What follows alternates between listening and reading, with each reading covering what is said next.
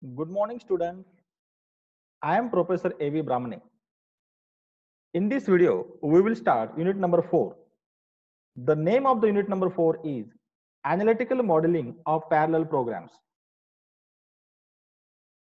This is the topic overview that we are going to discuss in this unit number 4. Students, a sequential program is usually evaluated in terms of its execution time, expressed as a function of size of its input. The execution time of parallel algorithm depends not only on input size, but also on the number of processing element used and their relative computation and inter-process communication speeds. Hence, a parallel algorithm cannot be evaluated in isolation from parallel architecture without some loss in accuracy. A parallel system is the combination of an algorithm and the parallel architecture on which it is implemented. In this chapter, we study various metrics for evaluating the performance of a parallel system.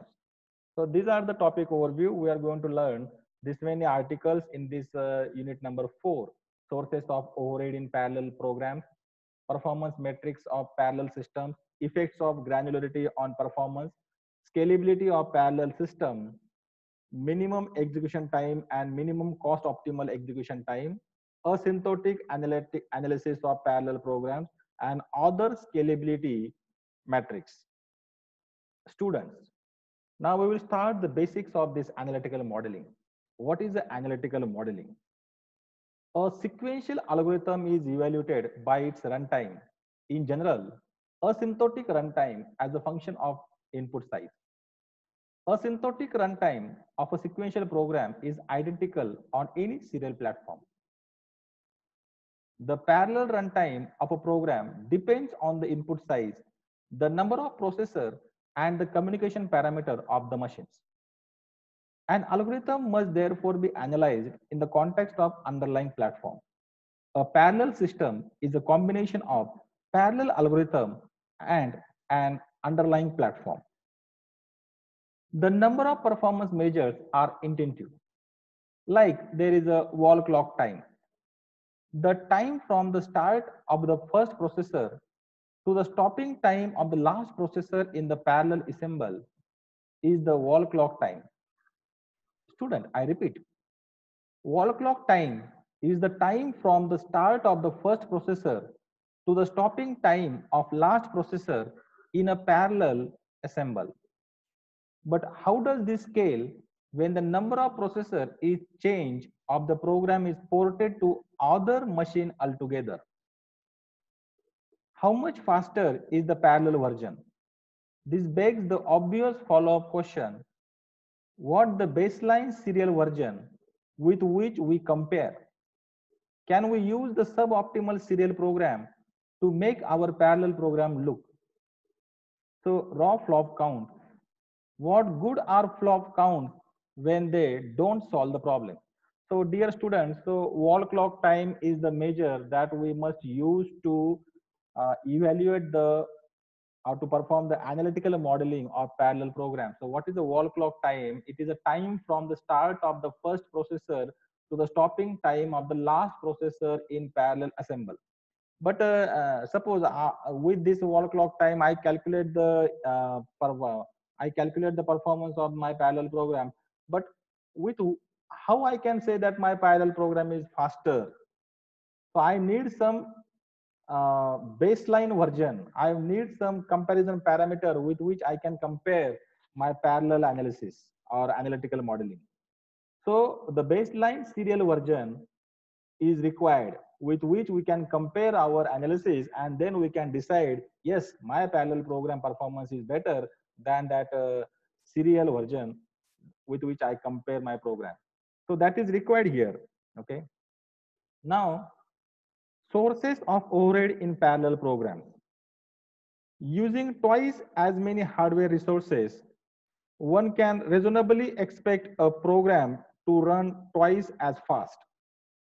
However, in typical parallel programs, this is rarely the case due to variety of overheads associated with parallelisms. An accurate quantification of these overheads is critical to the understanding of parallel program performance. Okay, so uh, see students, uh, I repeat, using twice as many hardware resources, one can reasonably expect a program to run twice as fast. However, in typical parallel program, this is uh, rarely the case due to the variety of overheads associated with parallelism. So if you if you see that uh, if I use two processor, should my program run twice as fast?